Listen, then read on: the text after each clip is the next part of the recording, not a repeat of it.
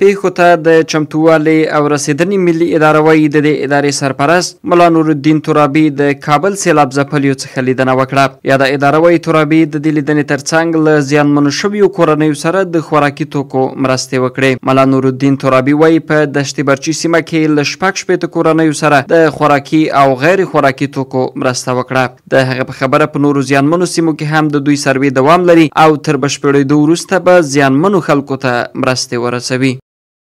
د کابل پر ښار په څو ناحیو کې په څو حوزو کې سېلابونه راغله چې زموږ د سروې ټیمونه روان دي هغه سروې کوي دغه صرف د دوو ګذرونو کې شپږ شپېته کورونه په کلي ډول او په قسمي ډول خراب شوي وه. په کلي ډول چې خراب شوي وو هغه مواد او خیمې دواړه ورکوو او په قسمي ډول چې وو دغه خوراکي مواد دي دغه اوس دلته موږ ورته تقسیموو چې د دا دوو ګذرونو تلفات شپږ شپېته کورونه وه دغه کورو ته موږ اوس د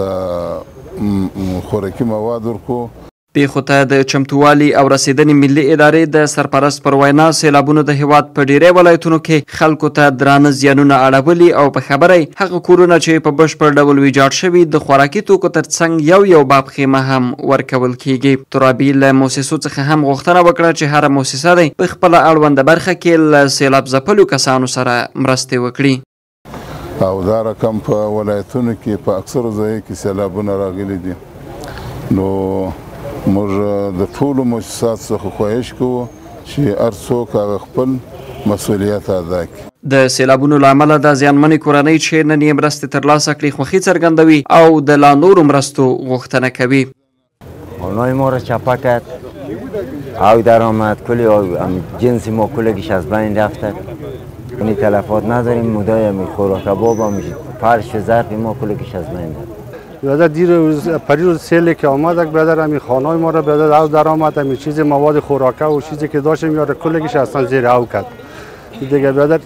زیر او گرفت جادر بود دیگه چیزی نماند از حساب خوراکه و چیزا چیز نماند برای ما دیگه خانه فعال خدا و قدر تخریب نشده مون تا در همسایه ما چند خانه بیادر تخریب شده است چهار اولی تخریب شده در سایه خود ما سیل آمده خانه را کلگیر خراب کرده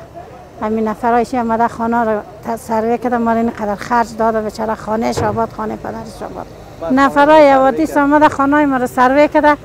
ما این قدر کمک داده خیر ببینه پېښو ته د چمتووالي او رسېدنې ملي ادارې له یادو کورنیو سره نن د سل کیلو وړو، پنځه ویشت کیلو وریجو، پنځه لیټره غوړیو، یو کارتن شیدو او کمپلو مرسته وکړه. سرچینه زیاتوي، د بشپړو ویجاړو کورونو لپاره یې بیا یو یو باب خیمه هم ورکړې ده.